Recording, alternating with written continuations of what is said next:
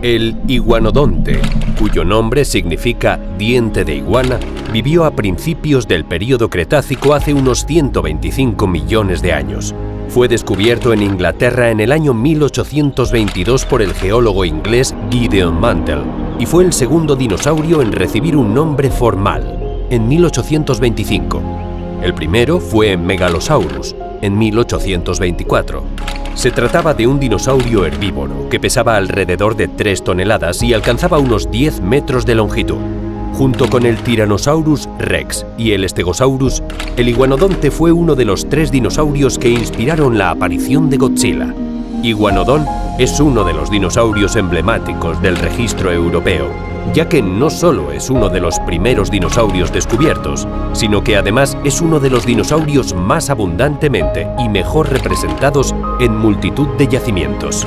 Actualmente se sabe que debió de ser uno de los herbívoros con mayor éxito de la era mesozoica, extendiéndose por todo el mundo durante 10 millones de años.